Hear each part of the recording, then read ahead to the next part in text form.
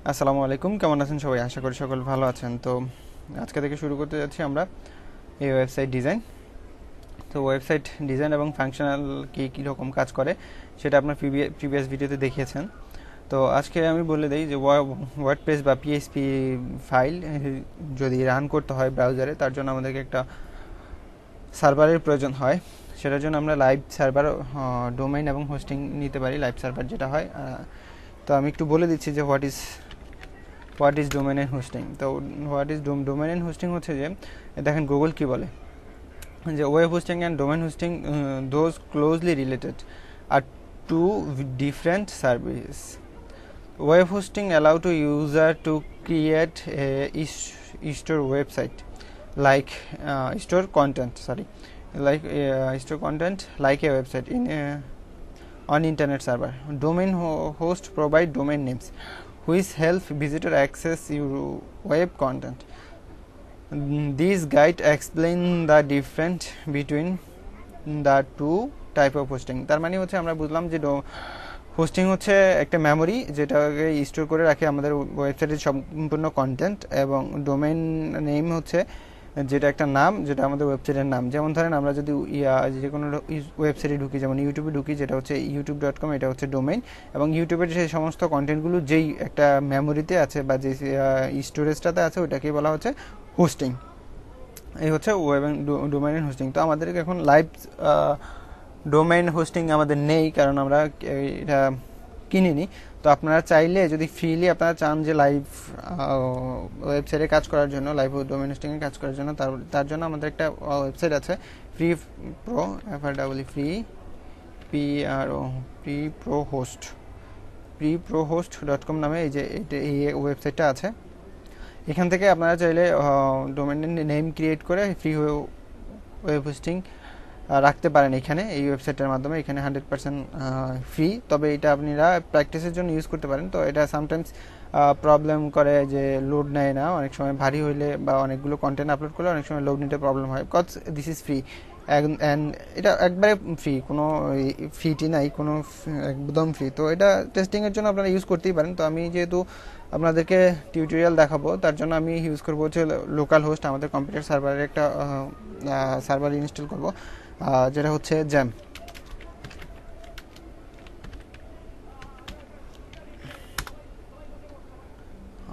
এটা হচ্ছে jams, XAMPP server.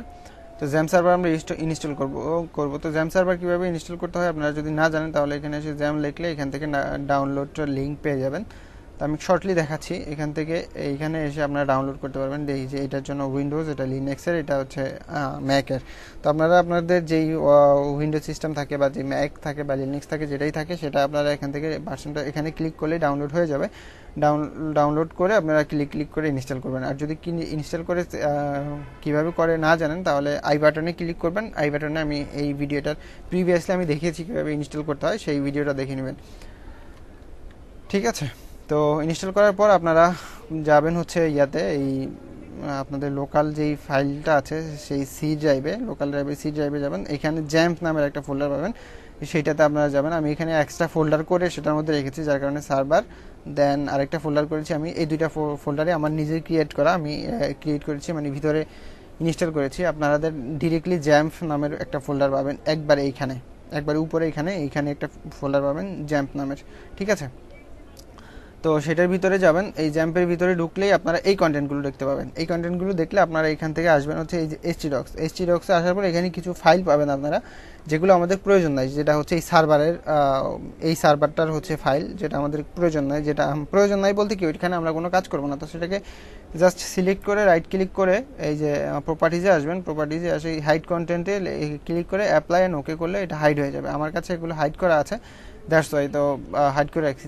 Hide করে রাখার পর আপনারা রাইট ক্লিক করে যে কোনো একটা ফোল্ডার তৈরি করবেন। ফোল্ডার তৈরি করার পর আপনারা ধরেন আমি যেটা ইয়ে করব মাই ধরেন my dash E C O M M R C E my e-commerce নামে একটা ফোল্ডার করলাম। এই ফোল্ডারটাতেই আমি মূলত আপনাদেরকে ওয়েবসাইটে ডিজাইন করে দেখাবো। তো এই জন্য আমাদেরকে লাগবে হচ্ছে ওয়ার্ডপ্রেস তো আমরা ওয়ার্ডপ্রেস ডট ওয়ার্ড যদি চলে যাই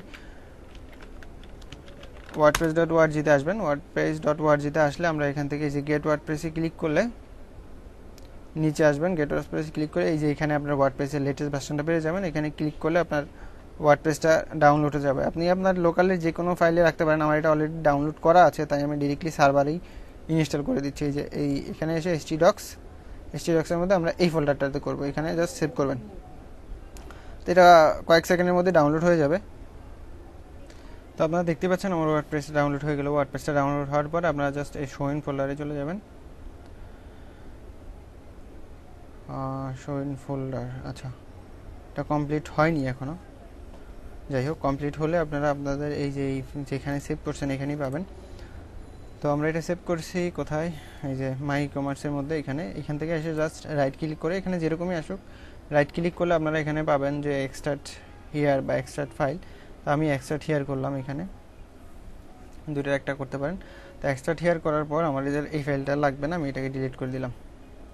যে ফাইলটার আমাদের কোনো দরকার নেই। এরপরে এই ওয়ার্ডপ্রেসের ভিতরে ঢুকবেন, ঢুকে এই যে এখানে যতগুলো ফাইল থাকবে কন্ট্রোল এ দিয়ে ক্লিক করে সিলেক্ট করে কন্ট্রোল এক্স দিয়ে কাট করে এখানে পেস্ট করে দিবেন। মানে ওয়ার্ডপ্রেসের বাইরে এসে একটা ফোল্ডার ভিতরে ঢুকবেন, সেটাকে বাইরে এসে পেস্ট করে অ্যান্ড এই ফোল্ডারটাকে ডিলিট করে দিবেন। কারণ এগুলো আমার একদমই লাগবে না।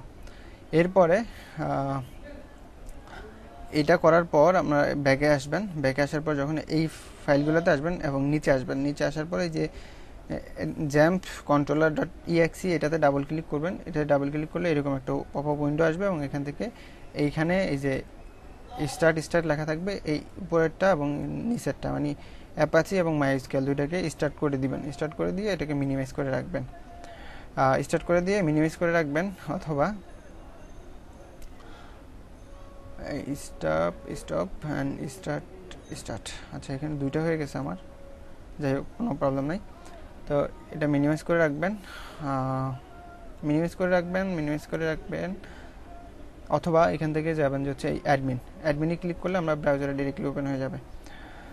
তো এইখান থেকে দেখেন আবার। এইখান থেকে এই যে অ্যাডমিনে ক্লিক করলে এই, এইভাবে ওপেন হবে। এইভাবে ওপেন হওয়ার পর এই এই পেজটা ওপেন হবে। ব্রাউজারে আপনার ডিফল্ট যে ব্রাউজারটা সেট করা থাকবে, ওই ব্রাউজারে তো ব্রাউজারে ওপেন হওয়ার পর এখান থেকে ড্যাশবোর্ডে ক্লিক করবেন। ড্যাশবোর্ডে ক্লিক করে যেখানে create dashboard database sorry create database এখানে ডাটাবেস ক্রিয়েট করতে হবে আমাদেরকে একটা।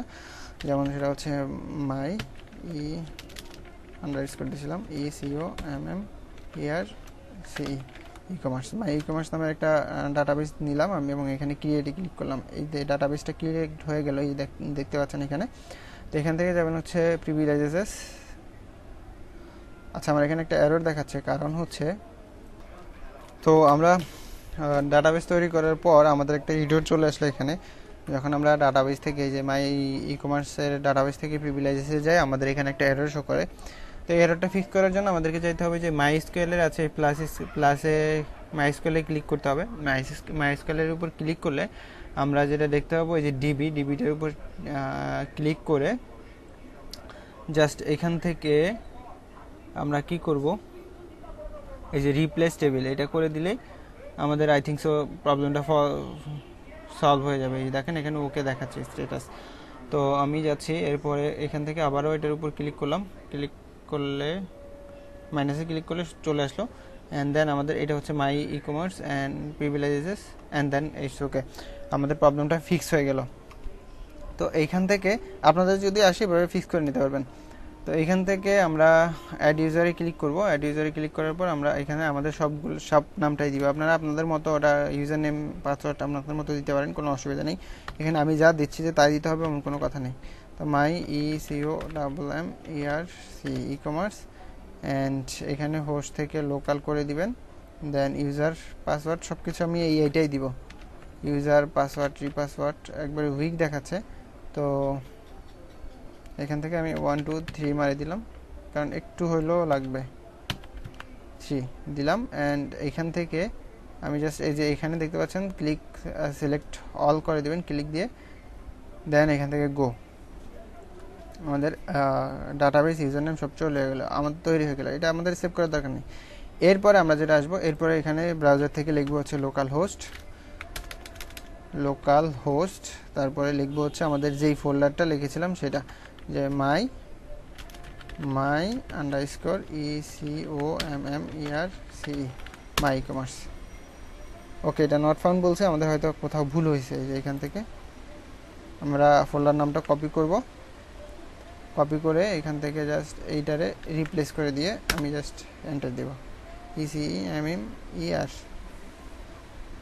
E C O M M E R C e-commerce আচ্ছা যাই হোক, আমাদের কোনো একটা স্পেলিং ভুল ছিল। তা এটা করে দিলে আমাদের এইরকম একটা ড্যাশবোর্ড আসবে। আপনারা এটা হয়তো প্রিভিয়াসলি জান জেনে থাকবেন। আর যারা জানেন তারা স্কিপ করতে পারেন। তো এখান থেকে কন্টিনিউ ল্যাঙ্গুয়েজ ইংলিশ থাকবে, এই লেখাগুলো পড়ার চেষ্টা করবেন, যখন পড়বেন আপনি ভালো করে বুঝবেন। আমি তো আপনাদেরকে দেখাচ্ছি। দেন এখান থেকে লেটস গো দেন এখান থেকে, এই যে এখান থেকে সব যে ডাটাবেজ নাম টাম যেগুলো আমরা এখানে ক্রিয়েট করেছিলাম, সেগুলো আমরা এখানে দিব। এগুলো আমরা এখান থেকে কপি করতে পারি। যেমন এই যে। এইটাকে জাস্ট আমরা কপি করব এবং আমরা যেহেতু সব কিছু একটাই দিছি, যেমন ডাটাবেজ নেম আমরা ডাটাবেজ নেম কোনটা ডাটাবেজ নেম হলো এইটা এটা এখানে যেটা লিখছেন সেটা দিতে হবে এখানে।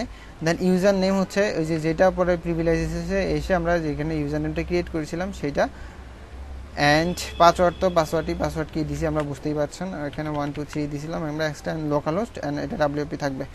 Just submit and run the installation তো এখান থেকে সাইট টাইটেল যেমন আমি এখানে দিব my e-commerce my E C O M M R C e-commerce এই সাইট টাইটেলটা কোনটা?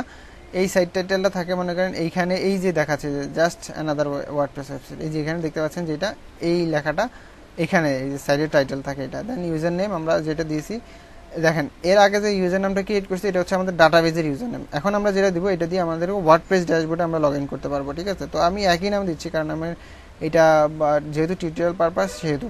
আপনারা চাইলে আপনাদের মতো দিবেন এবং পাসওয়ার্ডটা খুব স্ট্রং দেওয়ার চেষ্টা করবেন। যদি- পাসওয়ার্ড স্ট্রং না দেন, তাহলে ওয়েবসাইট হ্যাক হওয়ার সম্ভাবনা থাকে। যেমন এখানে আমাদের ভেরি উইক পাসওয়ার্ড দিয়েছে আমি এটা বলছি, এটার জন্য আপনাকে কনফার্ম করতে হবে। দেন আমি এখানে একটা ইমেল অ্যাড্রেস দিবেন আপনারা। যেই ইমেল অ্যাড্রেস দিয়ে আপনারা ওয়েবসাইটটা রান করবেন রান করতে যাচ্ছেন সেটা, সেই ইমেল অ্যাড্রেসটা এখানে দিবেন এবং এখানে যে সার্চ ইঞ্জিন ভিজিবিলিটি এটা যদি ক্লিক করে রাখেন, কেউ যদি সার্চ করে, তাহলে আপনার ওয়েবসাইটটা খুঁজে পাবে না। যতক্ষণ পর্যন্ত এটা ভিজিবল মানে টিক থাকবে। তারপরে আপনার আনটিক করে দিলে মানে টোটাল ওয়েবসাইটটা যখন কমপ্লিট হয়ে যাবে, তখন আপনারা টিক করে দিলে যে কেউ ওয়েবসাইটটা খুঁজে পাবে। এটা হচ্ছে লাইভ সার্ভারের কথা। তো আমাদের এটা দরকার নেই, আমাদের, আমরা চাবো যে আমরা ওয়েবসাইট অবশ্যই সবাই খুঁজে পাক। এই জন্য আমরা এটা টিক না দিয়ে আমরা জাস্ট ইনস্টল ওয়ার্ডপ্রেস দিব।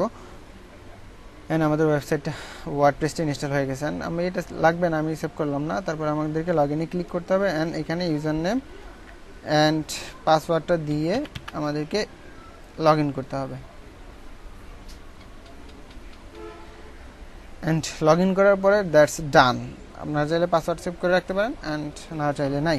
অ্যান্ড এই হচ্ছে আমাদের টোটাল ওয়ার্ডপ্রেস ড্যাশবোর্ড অ্যান্ড এই এই এইটুকুই হচ্ছে ইনস্টলেশন ইনস্টলেশন প্রসেস ওয়ার্ডপ্রেস ইনস্টলেশনের পরে লাইভ সার্ভারে যে যেই কাজ, এখানেও সেই কাজ, একই কাজ, কোনো ডিফ মানে পার্থক্য নাই। তো আমি এখান থেকে এই ড্যাশবোর্ডের এগুলো লাগবে না আমার, আমি এগুলোরে জাস্ট আনটিক করে দিই হ্যাঁ? এখান থেকে আনটিক করে দিলাম সব কিছু আমরা এখানে পরে আনব যেগুলো আমাদের প্রয়োজন, সেগুলো আমরা ড্যাশবোর্ডে রাখব। তো এই হচ্ছে আমাদের ওয়ার্ডপ্রেস ইনস্টলেশন ওয়ার্ডপ্রেস ইনস্টলেশন করার পর এখানে কিছু জিনিস আপনাদেরকে মনে রাখতে হবে। যেমন এটা হচ্ছে পোস্ট মানে এখান থেকে আপনারা চাইলে ওয়ার্ডপ্রেসে যে কোনো ধরনের পোস্ট আপনারা এখান থেকে করতে পারেন। দেন হচ্ছে মিডিয়া মিডিয়া থেকে আপনারা যত ধরনের মিডিয়া থাকবে অডিও ভিডিও ইমেজ ফাইল, সব ফাইলগুলো এখানে পাবেন। অ্যান্ড এটা হচ্ছে পেজ ওয়ার্ডপ্রেসে আপনারা যতগুলো পেজ ক্রিয়েট করে চান, সবগুলো পেজ এখান থেকে থাকবে। দেন এখানে আমাদের দুইটা পেজ আছে সিম্পল আমাদের এই দুইটা পেজকে আমরা এডিট করব ডিলিট করব না। দেন এখানে হচ্ছে কমেন্ট ওয়ার্ডপ্রেসের যত ধরনের কমেন্ট আছে এখান থেকে পাবেন। ব্লগের বা প্রোডাক্টের সব কিছু আমরা এখান থেকে পাবেন। এরপরে হচ্ছে এপিএল অ্যাপিয়ারেন্স অ্যাপিয়ারেন্স থেকে আমাদের থিম এখানে থিম অপশন তো থিম কি? থিম হচ্ছে মনে করেন ওয়েবসাইটের ডিজাইন দেখেন, আমি একটা ভিজিবল দেখাই। যেমন নাও রাইট নাও আমাদের ওয়েবসাইটে কিন্তু এরকম দেখাচ্ছে। এটা হচ্ছে, আমার কোন থিমটা অ্যাক্টিভ আছে? এটা হচ্ছে টোয়েন্টি টোয়েন্টি ওয়ান থিমটা অ্যাক্টিভ আছে। আমরা যদি এইটা দিই টোয়েন্টি টোয়েন্টি থিমটা যদি আমরা এখান থেকে অ্যাক্টিভ করি, তো অ্যাক্টিভ করলে দেখেন, এখান থেকে যদি আমি রিলোড করি, আমাদের ওয়েবসাইটের টোটাল চেঞ্জ হয়ে যাবে। দেখছেন, এখন ডিজাইনটা হচ্ছে এরকম। তো এটাই হচ্ছে থিমের কাজ। থিম হচ্ছে মানে ওয়েবসাইটটাকে একটা ডিফারেন্ট ডিফারেন্ট ডিজাইন দিয়ে থাকে। তো এরপরে হচ্ছে প্লাগ ইন তো প্লাগ ইন কি? প্লাগ ইন এখানে দুইটা প্লাগ ইন আছে, এগুলো আমাদের লাগবে না। আমি জাস্ট টিক দিয়ে এখান থেকে এসে ডিলেট দিয়ে অ্যাপ্লাই দিব। আমরা এইগুলো লাগবে না। আমরা ওকে দিলে আমাদের প্লাগ ইনগুলো ডিলেট হয়ে যাবে। আমরা প্লাগইন ইনস্টল করব, আমাদের যতগুলো প্লাগইন লাগবে আমরা সবগুলো ইনস্টল করব। তো প্লাগইন হচ্ছে কি? প্লাগইন হচ্ছে তো আপনার ওয়েবসাইটের নির্দিষ্ট কিছু ফিচার মানে সব কিছু তো থিমের মধ্যে থাকে না থিম থাকে ডিজাইন অ্যান্ড কিছু ফাংশনালিটিস তো সম্পূর্ণ আমাদের ফাংশনালিটিসগুলো পাওয়ার জন্য আমাদেরকে বিভিন্ন টাইপের প্লাগইন ইউজ করতে হয়। তখন প্লাগইনে খুব ছোট ছোট প্লাগইন সেগুলো আমরা ইউজ করব। অ্যান্ড দেন হচ্ছে ইউজার টুলস সেটিংস টুলস আমাদের দরকার নেই ইউজার টুলস সেটিংসের কিছু দরকার নেই, আমরা জাস্ট সেটিংয়ে আসলে এই যে এখান থেকে আমরা এই সাইড টাইটেলটা দিয়েছি, এখন এখান থেকে আমরা চাইলে টাইটেলটা আমরা চেঞ্জ করে দিতে পারি। যেমন এখান থেকে এটা এটা দিয়ে দিলাম।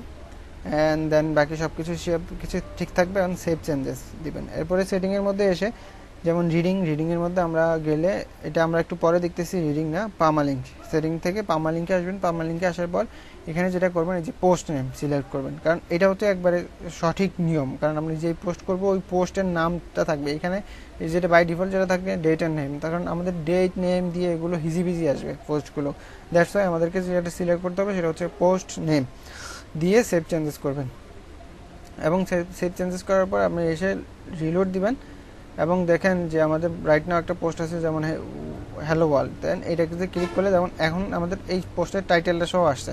আর যদি এটা থাকতো, এই যে date name by date name দিয়ে আমরা যদি সেভ করি দেন এখানে খেয়াল করেন, যেমন এখানে আছে, যেমন আমাদের ওয়েবসাইটটা আমরা, তারপরে হ্যালো ওয়ার্ল্ড যেমন আমরা এখানে রিলোড রিফ্রেশ করব দেন এখানে আসছে তারিখ, তারপরে ডেট টেট এগুলো হিজিবিজি এসে তারপরে টাইটেল নামটা আসছে। এই হচ্ছে ডিফারেন্স তো এতগুলো করলে আপনার ওয়েবসাইটের এসিওর প্রবলেম হয় মানে সার্চ করে খুঁজে পায় না মানুষ সহজে।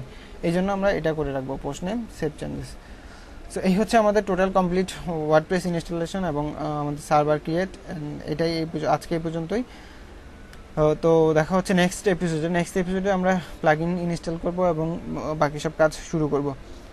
সো আর আরেকটা কথা বলে দিই যে, এই ওয়েবসাইটের মধ্যে যতগুলো কন্টেন্ট আমি ইউজ করব, যতগুলো পিকচার ইমেজ এবং বাকি সব কিছু সব কিছুই আমার ভিডিও ডিসক্রিপশনে পাবেন, আমাদের গুগল ড্রাইভ লিঙ্ক পাবেন। সেখান থেকে আমি আপনারা ক্লিক করে আমার সমস্ত ইমেজ এবং কিছু এক্সট্রা সিএসএস কোড লিখতে হয় লিখতে হয়েছিল, সেগুলো আপনারা সেখান থেকে পাবেন ডাউনলোড করতে পারবেন। তো, আপনারা ডাউনলোড করে সেখান থেকে ব্যবহার করতে পারবেন। আপনাদেরকে আলাদা করে ইমেজ বা বিভিন্ন ধরনের কন্টেন্ট এগুলো ডাউনলোড করতে হবে না। তো দেখা হচ্ছে নেক্সট এপিসোডে তো তোমরা ভালো থাকবেন, সুস্থ থাকবেন, আর আমার জন্য দোয়া করবেন। আল্লাহ হাফেজ।